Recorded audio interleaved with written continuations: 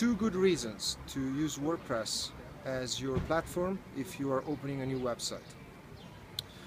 As anyone that is investing time and effort into anything, you should look for two things. One is to maximize your output, and another thing is to minimize your risk.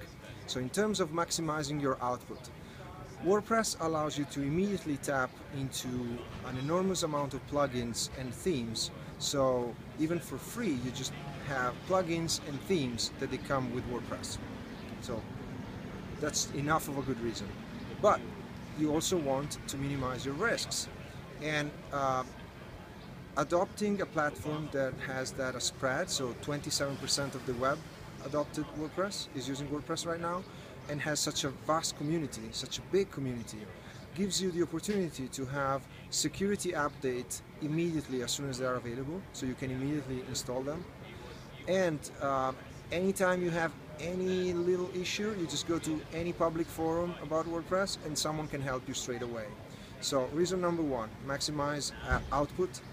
You get uh, plugins and themes for free. Reason number two, minimize risk. You have access to security patches and a vast community that can help you straight away.